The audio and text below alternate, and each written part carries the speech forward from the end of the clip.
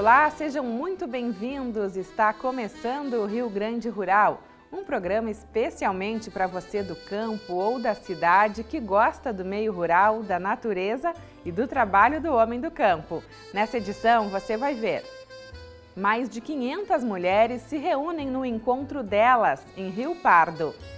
Planejamento forrageiro, etapas para garantir estabilidade de produção de alimento. 21ª Exposol, a maior feira de joias e pedras preciosas da América Latina e a maior feira multissetorial do interior do estado do Rio Grande do Sul, foi realizada em Soledade.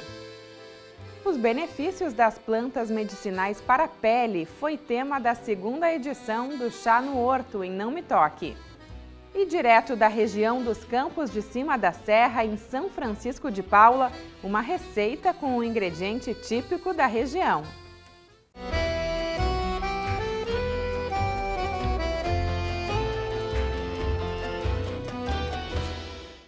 Em comemoração ao Dia Nacional da Mulher, celebrado no dia 30 de abril, foi realizada a segunda edição do Encontro Delas, no ginásio de esportes da comunidade de Rincão del Rei, em Rio Pardo.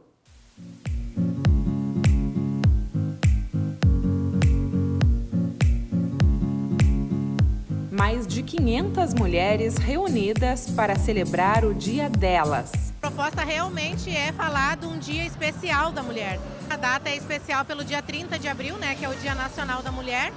E a gente resolveu então fazer com atrações que voltassem mais uh, somente para as mulheres, né? Para que elas tenham esse dia especial para elas. Então, o segundo encontro dela surgiu da necessidade pós-pandemia de reunir as mulheres, então, para falar de temas antes e ainda muito polêmicos no meio rural, que é sexualidade feminina, e alguns outros temas voltados à saúde da mulher. Com o tema Mulher Ressignifique Suas Vivências, a programação contou com palestras que abordaram temas relacionados à vida e à saúde da mulher. Fernanda Angnes falou sobre saúde íntima com ênfase em DSTs. É um assunto bem, bem delicado que eu acho que precisa ser levado mais para as mulheres, porque poucas mulheres se preocupam ah, com a prevenção, elas só buscam cuidar realmente da saúde íntima quando elas já têm sintomas quando elas já sentem que tem alguma coisa que está diferente, elas não buscam a prevenção.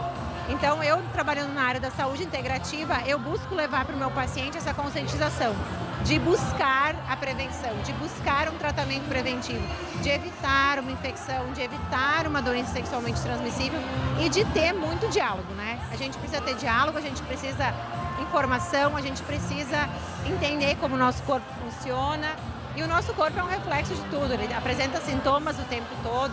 Então é importante a gente ter esses momentos de cuidado, de se olhar.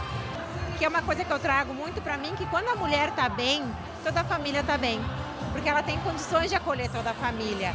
Então ela vai sair daqui hoje bem, ela vai sair daqui animada, ela vai sair daqui com outro espírito, muito mais produtiva e com certeza ela vai levar muitas coisas para a família e para toda a comunidade dela. Depois do almoço, foi a vez da apresentação teatral O Mundo Encantado do Circo, do Clube de Mães Sempre Unidas de Vale Verde.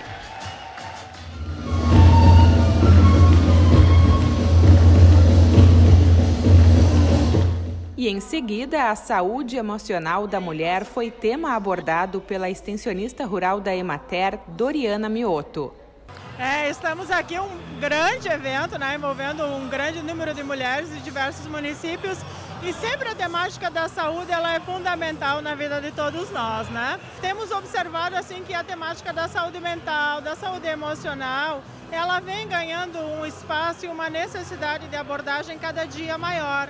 Então hoje a gente vai tentar trazer um pouquinho uma reflexão sobre a importância do autocuidado, do olhar para a saúde, da, de uma forma é, integrativa também, né? E os aspectos que nós precisamos ter hábitos né, na nossa vida para ter uma saúde, tanto física quanto emocional. Nós percebemos que, apesar de, de, todo o contato que a mulher rural especialmente tem com a natureza, né, esse contato que muitas vezes é privado para algumas pessoas, de, de, certa forma, quem mora mais na, na cidade, mas mesmo assim tem vários aspectos que afetam a saúde emocional. Então, questões como o cuidado com a alimentação, as atividades físicas, as relações, ou não levar as coisas tão a sério, né? Que às vezes a gente se prende muito em alguns projetos, em alguns objetivos. Isso acaba gerando ansiedade, acaba gerando questões relacionadas à, à depressão, né? E outros transtornos também. Muito bom. A gente tira um dia tranquilo, porque em casa é aquela monotonia, né? Eu já vi, moro sozinha, já criei minhas filhas, todas casadas, então um dia assim para mim é maravilhoso. Muito feliz. Eu já participo há alguns anos, a minha mãe é fundadora, a minha irmã também participa. E é um grupo pequeno nosso, é, a gente é em torno de 15 mulheres rurais todas trabalham na, em casa e na área rural, plantadoras de fumo, umas já são aposentadas, mas continuam eh, exercendo a função rural, né? E o grupo nos faz muito bem. Participar desse evento, dessa integração tão grande, né, de mulheres, como é que é para você? Essa integração é um incentivo, uh, porque a gente se sente muito bem estando em grupo, a gente sempre fala sobre isso que além do, da Emater, que o Reinaldo é nosso estacionista, como se chama, né? Ele nos traz sempre receitas, nos traz inovações na área da medicina alternativa, tudo que a Emater uh, tem para oferecer, ele traz para o nosso grupo. Mas também uh, das mulheres se reunirem. E a gente vê como o teu exemplo, né, a participação de mulheres jovens, né? Então, ou seja, todas as idades aqui são bem-vindas e participam aí desse momento. É, jovens podia ter mais. A gente, mas por a mulher jovem tem ficado muito pouco na agricultura. Eu sei por mim, as minhas amigas, é, pouquíssimas que ficaram na agricultura. E a gente, eu e a minha irmã, a gente somos exceções. E, mas mesmo assim, a gente adora estar no meio e participar, sempre que dá, a gente sempre vem. Grande família, deixa eu ver como é que é.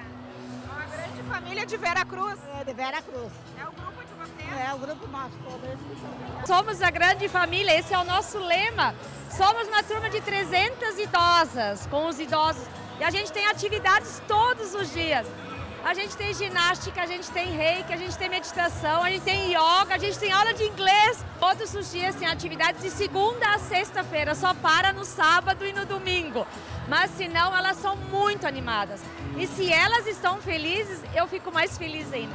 Porque é uma idade, assim, a melhor idade, é um público maravilhoso. Importante essa integração nesse dia também, reunindo tantas mulheres que estão aí nesse momento, né, de integração e de aproveitar esse momento. E elas merecem. Todas nós mulheres merecemos, né? E hoje eu te digo assim, ó, elas não querem mais ficar em casa. Elas querem participar, elas, quer, elas querem estar na ativa todos os dias. Elas não gostam de ficar em casa. Então, temos muita missão pela frente, vamos fazer coisas novas sempre, todos os dias. Faz parte da vida da gente. A gente se diverte, a gente cria amizade, se troca as ideias, trabalha junto, faz os trabalhos de é voluntária e a gente sai junto. É, não tem idade, estiver a cruz. Sempre a idade para ser feliz. Sempre, sempre.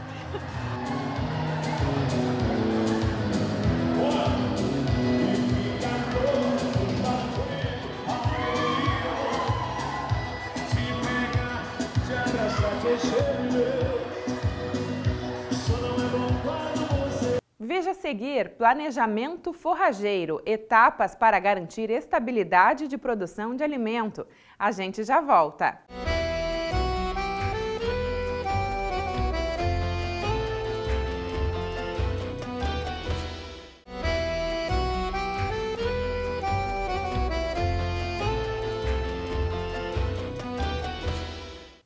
Planejar o cultivo e manejo das pastagens é importante para garantir que os animais tenham alimento durante todos os meses do ano.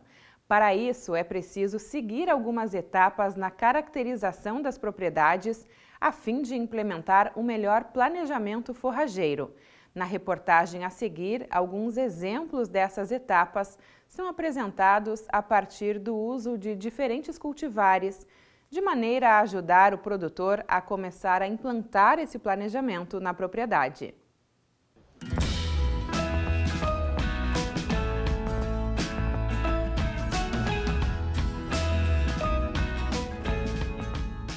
O planejamento forrageiro é uma fase importante do processo de produção animal. Cada propriedade tem características específicas. Por isso, o resultado varia de acordo com a necessidade e disponibilidade de cada produtor. Não existe uma receita pré-estabelecida de aplicação, mas sim etapas de identificação que chegam ao planejamento ideal para cada realidade. Antes de decidir o que plantar, o produtor precisa avaliar a demanda de alimentos.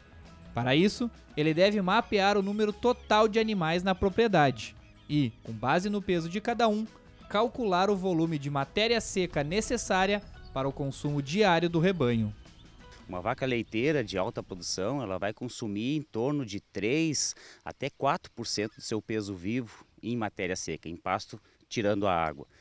É, dessa, desses 3 a 4%, normalmente a metade ou até mais da metade vem das forrageiras. Com a demanda calculada, está na hora de abrir o cardápio das forrageiras e começar a montar o menu. Não existe nenhuma forrageira que forneça pasto para um ano inteiro nas condições encontradas na metade sul do país. O clima subtropical da região faz que de janeiro a dezembro tenha dois extremos de temperaturas: um verão quente e um inverno frio. A diversificação das forrageiras garante alimento para os animais em todos os meses. Para diversificar, a área útil da propriedade é dividida em espaços para pastagens perenes, aquelas que não precisam de ressemeadura, e para anuais, aquelas que precisam ser semeadas todos os anos. Para facilitar o entendimento dessa etapa, vamos apresentar alguns exemplos utilizando as cultivares da Embrapa.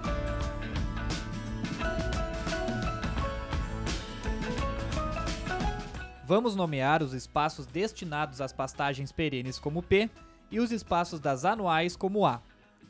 A BRS Curumi é uma pastagem perene de verão, mas que disponibiliza pasto da primavera em outubro até o outono em maio.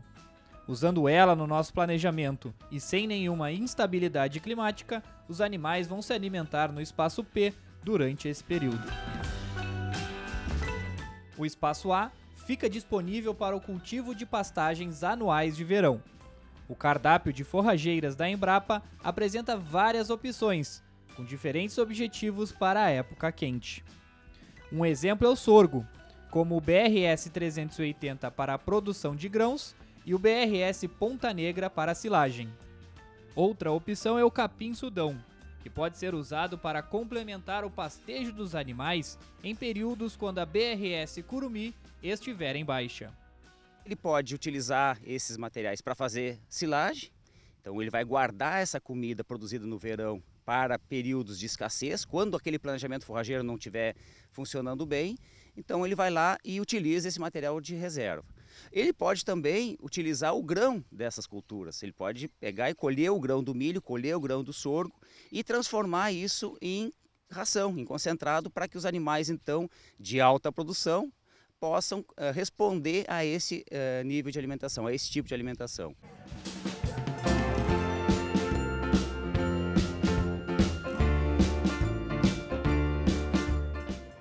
Quando a temperatura começa a cair, o planejamento entra no período do inverno. No nosso exemplo, o espaço P ainda está ocupado pela BRS Curumi. Se o frio for rigoroso, ela entra em período de descanso. Então, o foco do planejamento volta a ser o espaço A, que dessa vez recebe pastagens anuais de inverno. As opções de trigo da Embrapa trazem opções de pastejo, como a BRS Pastoreio e a BRS Taromaxi, e de grãos, como a BRS Reponte e a BRS Bela Joia. Mas se a propriedade não se adaptar ao trigo, há outras opções no cardápio para o período frio, como as cultivares de azevém BRS Estações e a BRS Integração, ambas para pastejo, ou até centeio, cevada, aveia e triticale. Seja qual for a escolha, o objetivo é o mesmo do verão: ter alimento durante todos os meses. E se você ainda não entendeu, o Sérgio Bender faz um resumão de tudo que falamos até aqui. A diversificação, o planejamento da propriedade passa por saber quanto ele precisa, e em função da necessidade dele, ele vai fazer uma distribuição né, da sua área entre pastagens perenes e pastagens anuais. Estas, ele vai introduzir materiais de verão e materiais de inverno. No final das contas, ele vai tendo sempre volumoso uh, na sua propriedade, sem faltar em nenhum momento do ano. Igual qualquer outro sistema, existem inúmeros imprevistos que podem acontecer durante a implementação ou produção. Para contornar, o produtor deve planejar o enfrentamento às instabilidades climáticas, como as estiagens, fazendo reservas de alimentos em épocas de excedentes. Cuidar o manejo das forrageiras, colocando os animais para pastar nos períodos certos para não prejudicar o crescimento das plantas e aplicar a quantidade ideal de adubo, não excedendo os limites, principalmente no caso da adubação nitrogenada. O planejamento não se limita em só plantar. O cuidado continua no manejo, para as plantas expressarem bem o potencial genético.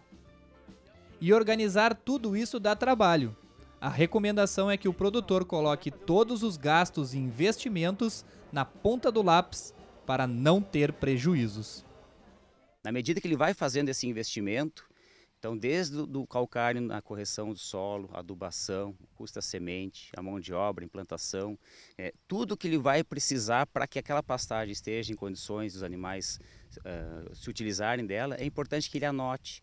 Com isso, ele vai conseguir saber se está sendo rentável ou não o investimento em pastagem.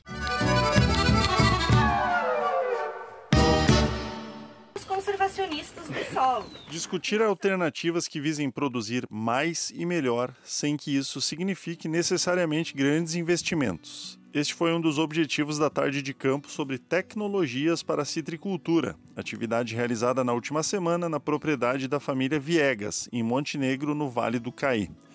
Organizado pela Emater RS Ascar e pela Câmara de Citricultura do Vale do Caí, o evento contou com quatro estações em que se debateram temas como irrigação, reservação da água, energia solar e manejo da pulverização.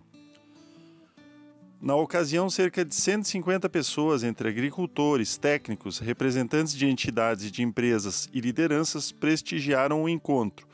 Essa foi a segunda vez que a família Viegas foi anfitriã de uma ação do tipo. No ano passado, dezenas de produtores participaram da tarde de campo no mês de abril. Com uma ampla tradição no cultivo de bergamotas e laranjas, o casal Fabiano e Patrícia, com apoio da mãe de Fabiano, a dona Vera, investe permanentemente no pomar que hoje conta com 18 hectares das variedades Caí, Pareci, Poncã, Morgote e Montenegrina, além de laranja do céu. As entregas são feitas na SEAS RS durante boa parte do ano, com a safra sendo garantida também pelos açudes para a captação da água o que minimiza os efeitos da estiagem com a oferta permanente de água. Para a família foi importante poder compartilhar esse tipo de experiência. Nossa família produz citros desde os anos 40, quando meu avô levava as frutas de casa em casa, sendo fundamental aliar essa tradição com a modernidade, comentou Fabiano na ocasião.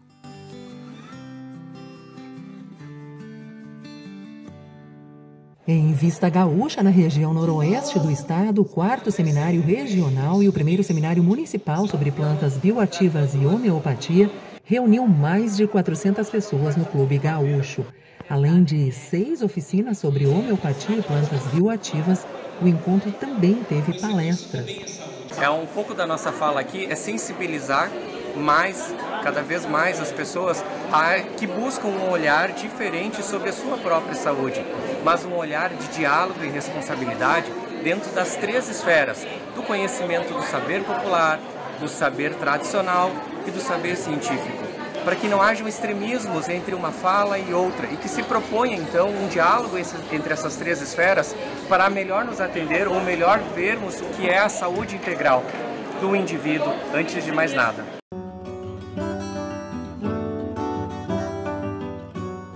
Terceira feira de troca de mudas e sementes de Bom Princípio, dia 11 de maio, a partir da 1h30 da tarde, na Praça dos Ipês, ao lado da Prefeitura de Bom Princípio.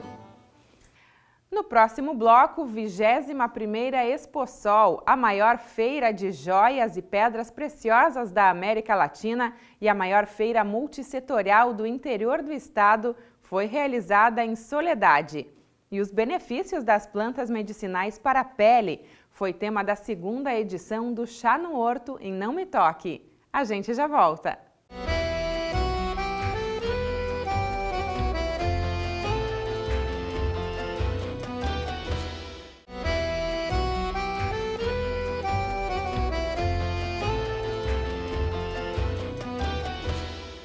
As plantas medicinais que têm benefícios para a pele foi tema do evento que reuniu cerca de 250 pessoas de 30 municípios no Parque da Expo Direto Cotrijal em Não Me Toque, na segunda edição do Chá no Horto, evento realizado pela Emater em parceria com a Cotrijal.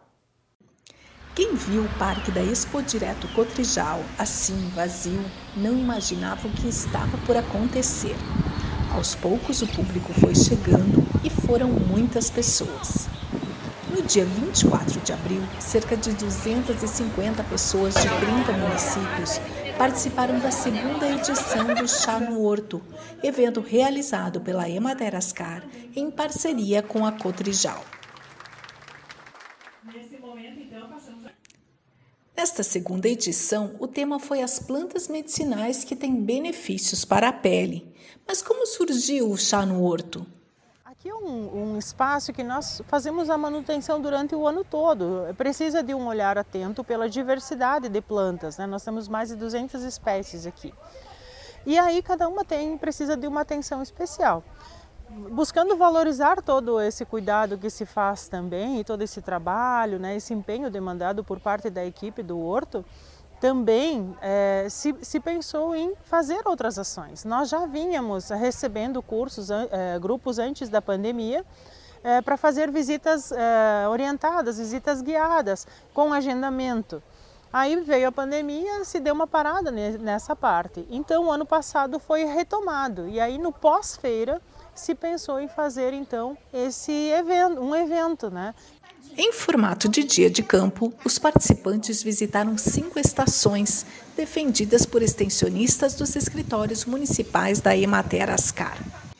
Foi na prática, com os pés imersos, que os participantes aprenderam e sentiram os benefícios do escalda-pés. Em outra estação, aprenderam sobre a babosa, sua identificação, cuidados e benefícios, e o modo de fazer do shampoo de babosa. Também aprenderam sobre a calêndula, que das belas flores pode ser feita a pomada de calêndula e própolis. Também aprenderam sobre a erva baleeira, que tem ação cicatrizante, anti-inflamatória e analgésica. Nesta estação foi ensinado a fazer o gel de massagem. E foi dentro da estufa geodésica que o público teve uma verdadeira aula de produção de mudas e cultivo das plantas.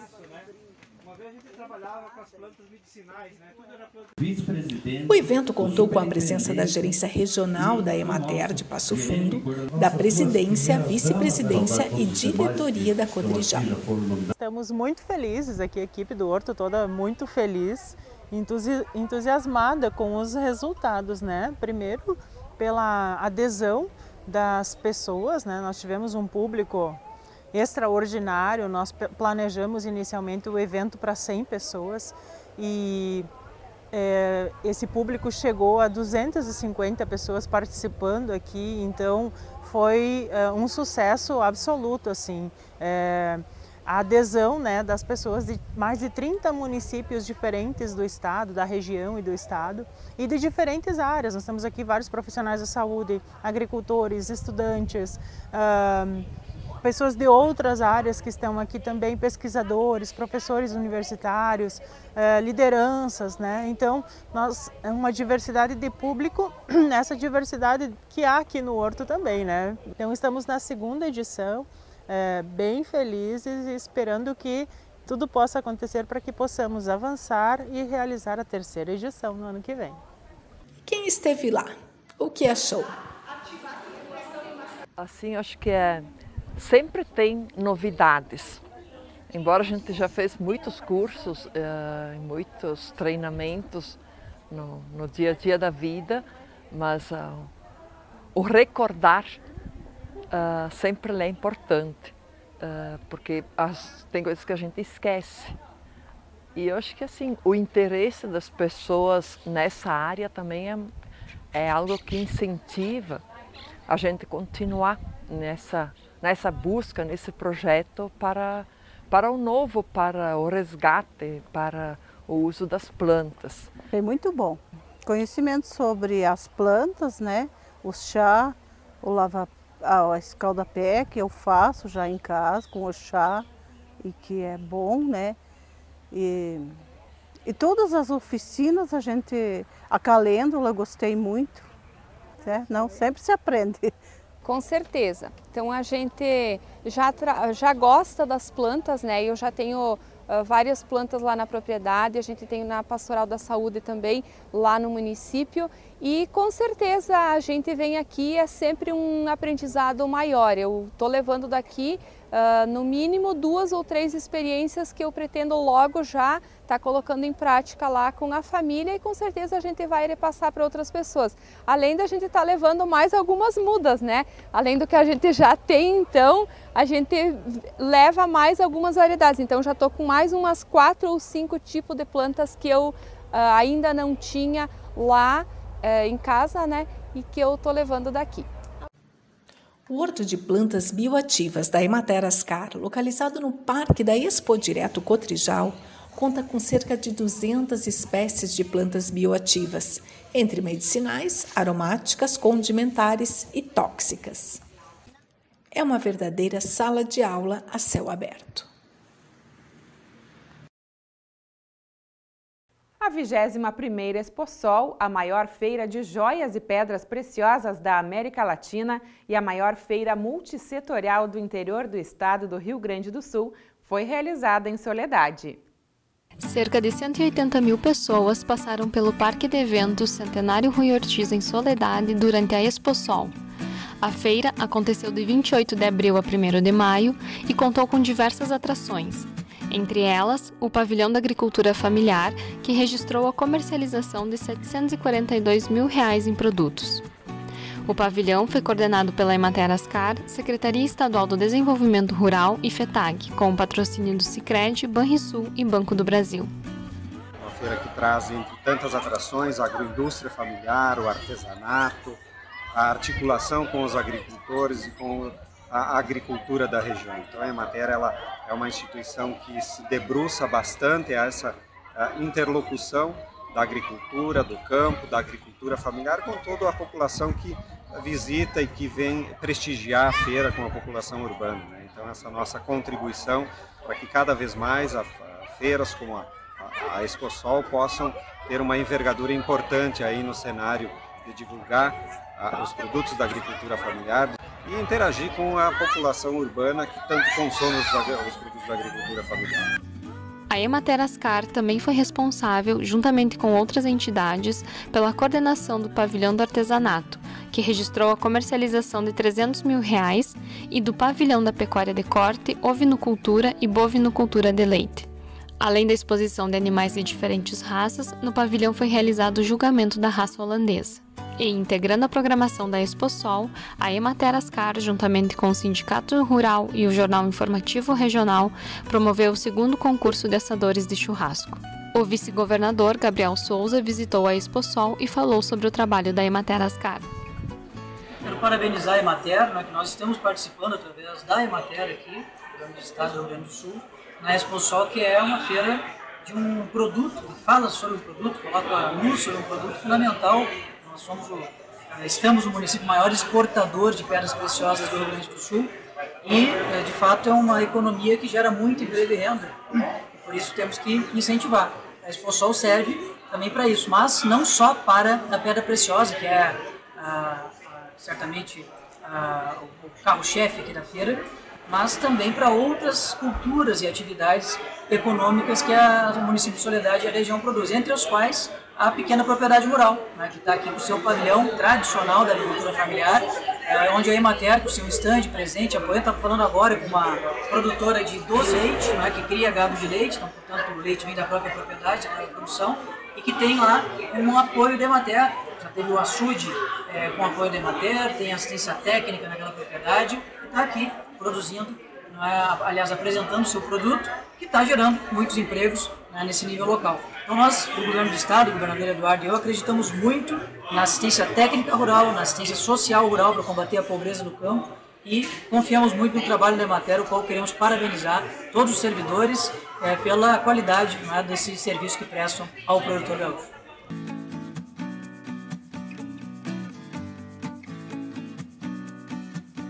A ideia da nossa agroindústria então surgiu em 2018, quando a gente teve a greve dos caminhoneiros e a gente tinha 500 litros de leite dentro do nosso conciliador. Muitos agricultores colocaram o leite fora, porque devido à greve ele ia estragar, né, se não fosse coletado e a gente teve a ideia então de não pôr fora e fazer em queijos. E aí ali foi um sucesso, a gente teve outros pedidos para as pessoas que a gente vendeu e surgiu a ideia então juntamente com a Emater de a gente fazer a agroindústria.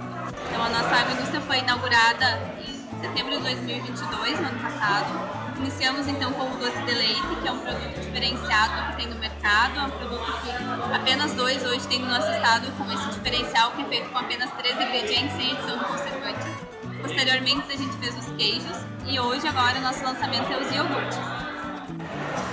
Participar da ExpoSol para nós é um sonho, desde que a gente né, teve a ideia da indústria, a gente ter a feira em casa e participar era um sonho. E esse ano, graças a Deus, a gente conseguiu estar realizando. Para nós é uma expectativa muito boa, porque a gente consegue então né, divulgar os nossos produtos para as pessoas que são né, clientes nossos potenciais dentro da nossa cidade e também consegue divulgar para a nossa região mais perto. A 22ª ExpoSol será realizada de 1 a 5 de maio de 2024 em Soledade. Depois do intervalo, a nossa receita da semana, direto da região dos Campos de Cima da Serra, em São Francisco de Paula. É feita com um ingrediente típico da região, não perca!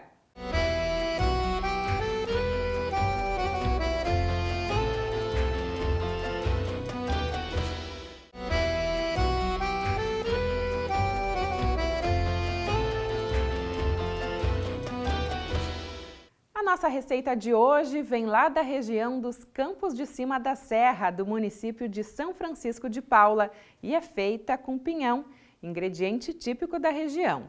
Nesse ano, devido a uma mudança na lei estadual, o pinhão teve o início da colheita antecipado para o dia 1 de abril, desde que esteja maduro. Acompanhe a reportagem e aprenda a fazer uma receita simples, rápida e deliciosa que vai te surpreender a temperatura começa a baixar. A paisagem muda de cor. As araucárias ficam carregadas. É tempo de colher pinhão, produto típico da região sul do Brasil. Na propriedade do seu Didi, em São Francisco de Paula, a produção é apenas para o consumo da família.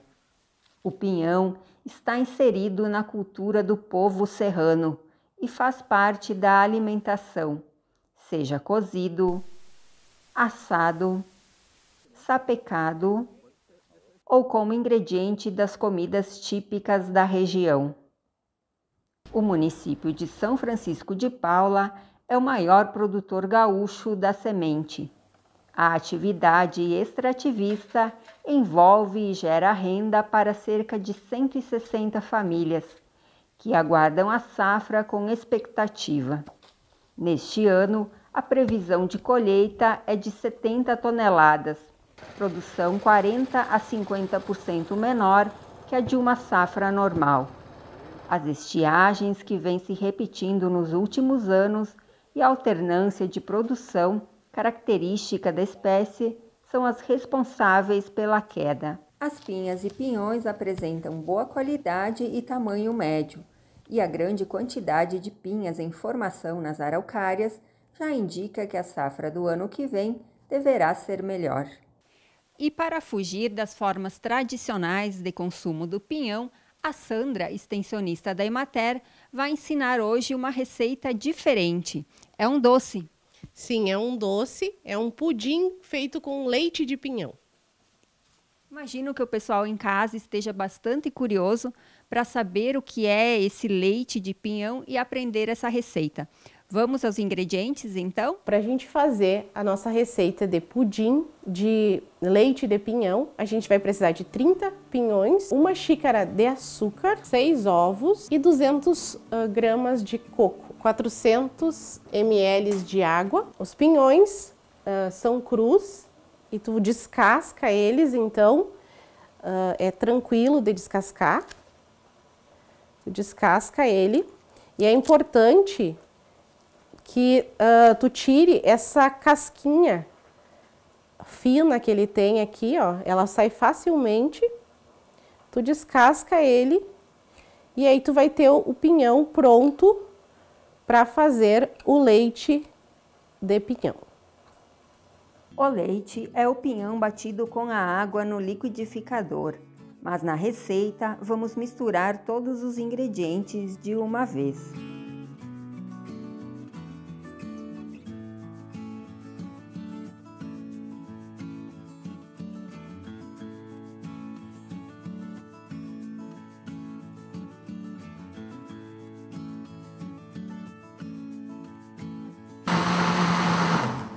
Depois de bater por dois minutos, a gente vai colocar numa forma previamente caramelizada.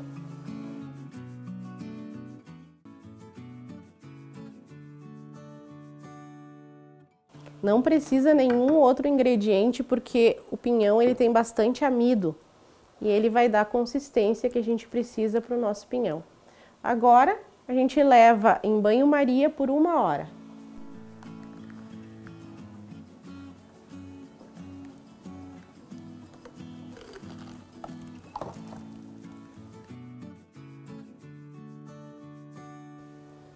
Então, depois de uma hora de cozimento em banho-maria, ficou pronto o nosso pudim de pinhão. E eu vou chamar o seu Didi e a sua família para que venham aqui provar esse pudim. Vou servindo. Vamos, então, o seu Didi, que está de aniversário hoje, vai ser o primeiro a provar, né, seu Didi? É, 85? Muito... 85. Marisa?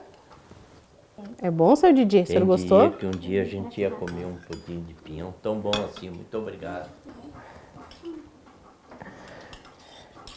É diferente, né?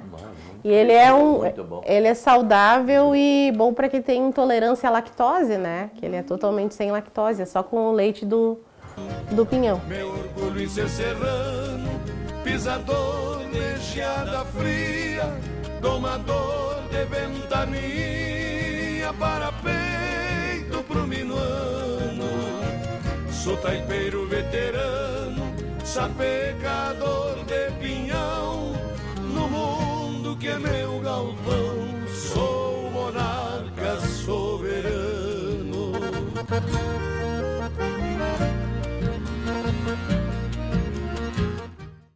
Se você gostou da receita e quer rever as nossas reportagens, pode acessar o nosso canal do YouTube. Acesse youtube.com/ematerrs.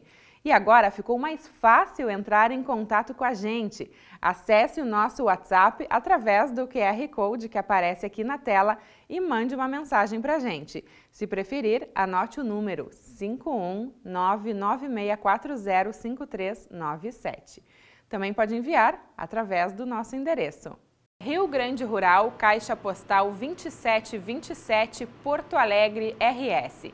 O CEP é 90 150-053 e o e-mail é rgrural@emater.che.br.